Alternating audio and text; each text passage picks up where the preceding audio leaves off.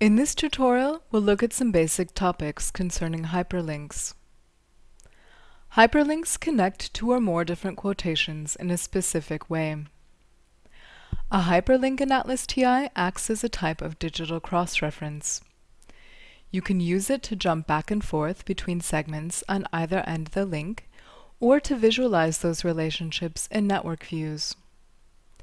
Hyperlinked segments can be located in the same document or different ones, and in all types of files supported by ATLAS.ti. This means, for example, that you can link a segment of an interview transcript to its counterpart in an audio file. Hyperlinks can be created from a variety of starting points, depending on your current context. The easiest way to hyperlink two nearby objects is by using drag and drop.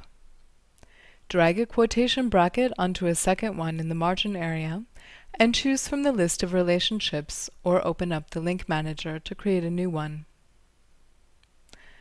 Drag and drop hyperlinking can also be done in the Quotation Manager, using the same method to link nearby quotes. Simply drag one quotation onto another in the manager to create a link between the two.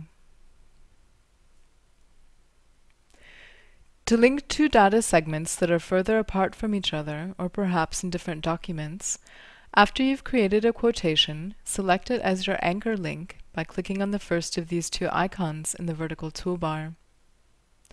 Now mark a second quotation and click on the icon below it to establish it as your target link.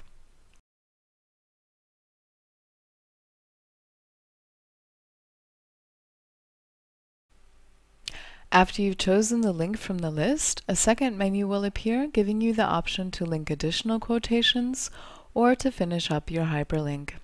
You can also create hyperlinks by going into the quotations main menu and choosing the item hyperlinks.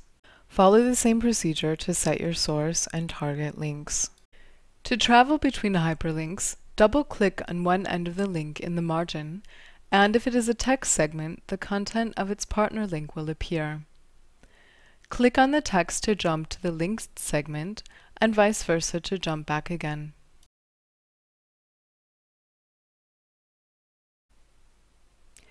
To modify hyperlinks, various options are available by right-clicking on the hyperlink. As you can see, you can write a comment for the link or flip its direction. The item Change Link Relation will allow you to reselect a link relationship from the list.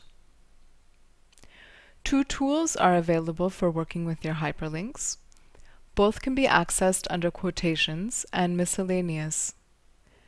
The Hyperlink Manager provides you with an overview of hyperlinks and allows you to sort them according to the criteria listed here in the columns. In the Relation Editor, you can create new hyperlinks and specify their structural and aesthetic properties. And to wrap up, there are two basic patterns of hyperlinked objects.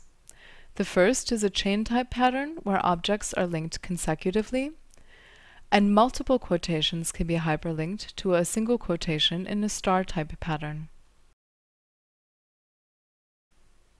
And this concludes our tutorial on hyperlinks. Thank you.